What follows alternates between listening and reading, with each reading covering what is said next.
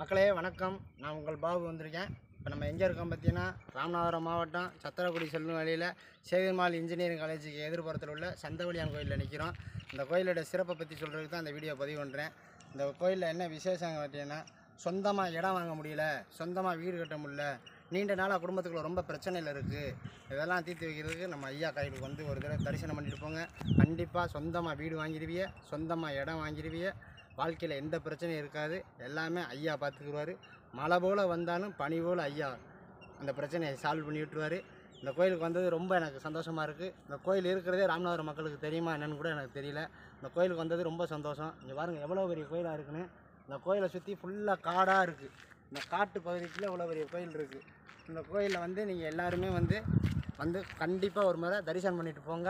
இந்த கோயில் எங்கே இருக்குன்னு பார்த்தீங்கன்னா ராமநாதபுரம் மாவட்டம் சத்திரக்குடி செல்லும் வழியில் சேதுமால் இன்ஜினியரிங் காலேஜ் இருக்குது அந்த காலேஜுக்கு எதிர்த்தாப்புல உள்ள சந்தவழியான் கோயில்.